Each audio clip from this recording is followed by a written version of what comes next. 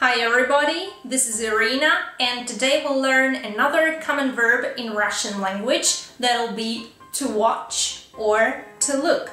In English, these two verbs have a little bit different meaning, but in Russian they don't have it. In Russian, these two verbs sound as смотреть. And first we'll look how the verb смотреть changes in present tense. Смотреть.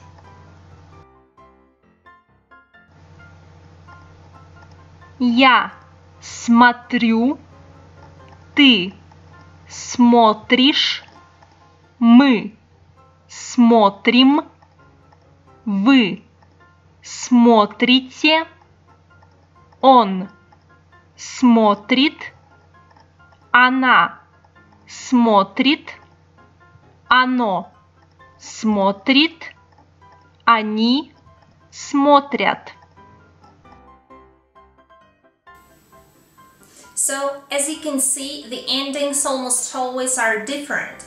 But don't worry about it, because there is a section in Russian grammar that is called verb conjugation, and in the future we'll study all of the groups of Russian verbs. Now, let's continue studying today's verb, and on the next slide, you'll see two sentences with the verb смотреть in present tense.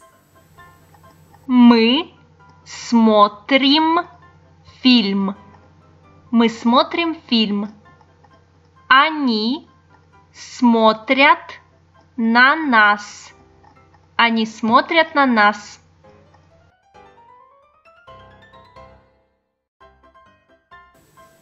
Good. Now let's study the same verb in the past tense. Here you'll see the difference between masculine and feminine forms. If the last letter of a verb is the vowel a, it means that we're dealing with feminine form. If the last letter is a consonant, it's masculine gender. Now, let's look at how the verb смотреть will be changing its ending in the past tense. Я смотрел, я смотрела. Ты смотрел, ты смотрела. Мы смотрели. Вы смотрели. Он смотрел. Она смотрела. Оно смотрело. Они смотрели. Very good.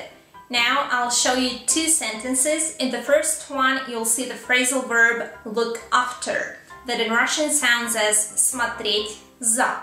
За is a preposition that can be translated in English not only as after, but also as for, behind, on, over, by. Everything depends on the context. Now let's look at our examples.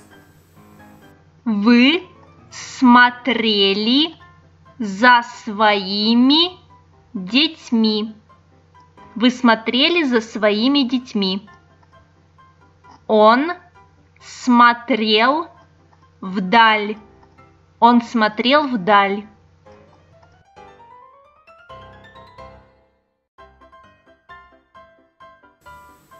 Good.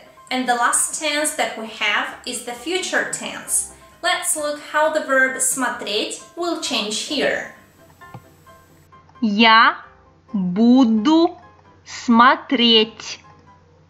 Ты будешь смотреть. Мы будем смотреть. Вы будете смотреть. Он будет смотреть. Она будет смотреть. Оно будет смотреть. Они будут смотреть.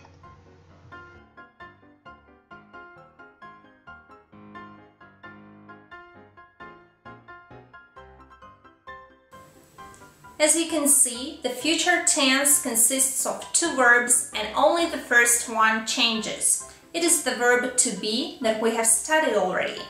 The second verb смотреть doesn't change, we just use its infinitive form. Now the examples. Она будет смотреть телевизор. Она будет смотреть телевизор. Я буду смотреть на игру. Я буду смотреть на игру.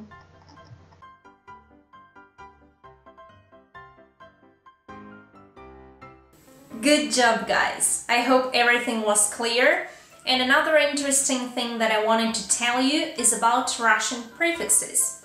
Many verbs in Russian language have different prefixes, and depending on that, the meaning of the word may change. Sometimes it changes a lot, sometimes not, but it's important to know that. So, what happens with the verb ending if we add a prefix to this verb? Let's take, for example, today's verb смотреть. We can add the prefix по to it and the whole word will sound as посмотреть. Or let's add the prefix про. Now the word will sound like просмотреть. The endings in each tense will be the same as they are in the verb смотреть, okay? And in English, such verbs with prefixes are usually translated as phrasal verbs. For example, the verb посмотреть means look or look over, and the verb просмотреть means look through. I'm saying this just to give you an idea about how the verb prefixes in Russian language correspond to the verbs in English, okay? Смотреть, посмотреть, просмотреть. And that's it for today. Please keep studying. Don't forget to ask me everything you have a doubt about and subscribe to my channel. I'd be glad to see everybody here watching my classes. Have a great day guys. See you soon.